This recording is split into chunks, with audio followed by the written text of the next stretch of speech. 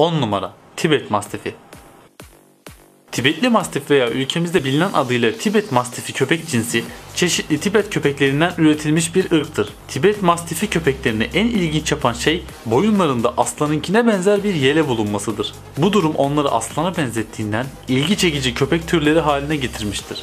Aynı zamanda dünyada satışı gerçekleştirilen en pahalı köpeklerdendir. Dolayısıyla bu köpeği sahiplenmek için hatırı sayılır bir miktarda parayı gözden çıkartmak gerekiyor. 9 numara Amerikan Pitbull Terrier Bu köpek Terrier ve Bulldog köpeklerinin çiftleştirilmesiyle elde edilmiş melez bir köpek türüdür. Eğitimine bağlı olarak oldukça sadık ve cana yakın olabilirler. İnsan dostudurlar, sahiplerini ölüm pahasına korurlar. Çoğu zaman bu köpek ırkından çok korkarız. Ama yetiştirilme türüne göre gerçekten çok evcil olabilirler. 8 numara Burble Burble, Güney Afrika kökenli bir mastif türüdür. İri, kaslı ve ürkütücü görünüşe sahip bir koruma köpeğidir. Bu köpek ilk defa köpek sahibi olacakları önerilmiyor. Bu türde erkek köpeklerde ortalama yükseklik 65 santimetreye, ortalama ağırlık ise 70 kilograma kadar çıkabiliyor. 7 numara Bully Kutta bu cins bir laboratuvar köpeğidir. Birçok ırkın bir araya gelmesiyle ortaya çıkmıştır. Kesinlikle güvenilir bir karaktere sahip değildir. Alayım beni korusun eve sahip çıksın derseniz yanılırsınız. Sadakati alt seviyededir. Sahiplerine saldırdığı bilinmektedir. Dövüş köpeği olarak bilinen ırkların çoğunu yener. Hatta en iyilerden biridir.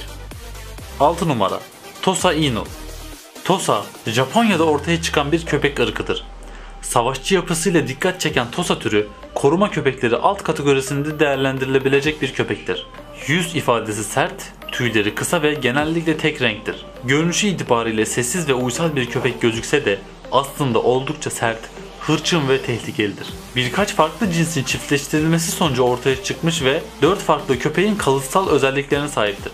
5 numara İngiliz Mastifi Görüntüsü ve kişisel özellikleri nedeniyle mastifler sıklıkla günümüzde koruma ve çoban köpeği olarak tercih edilmektedir. Aşırı cüsseli bu köpek ırkının kilosu ortalama olarak erkeklerde 90, dişlerde ise 80 civarındadır. Kare kafatasına sahip mastiflerin burun yapısı kısadır.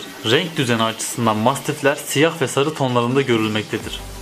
Güçlü koruma özelliklerine sahip olan mastifler iyi eğitildiği takdirde güçlü bir koruma köpeği olabileceği gibi sadık bir aile dostu haline dönüştürülebilir. 4 numara Kangal Kangal köpekleri genellikle çoban köpeği olarak nitelendirilir. Ancak bekçi köpeği tanımına daha çok uyarlar. Zira diğer çoban köpeği türleri sürüyü korumaktan ziyade yönlendirme ve yönetmekte ustadırlar. Kangal köpeğinin en belirgin özelliği ise sahibine duyduğu aşırı sadakat ve buna bağlı olarak sahibine ait olduğu düşündüğü şeyleri korumaya yönelik kuvvetli içgüdüsüdür. Bu nedenle çok iyi bir dövüşçüdür. Kurt, çakal gibi yabani hayvanlara karşı çok etkin bir muhafız olmakla birlikte aile fertlerine ve özellikle çocuklara karşı hiçbir tehdit oluşturmazlar.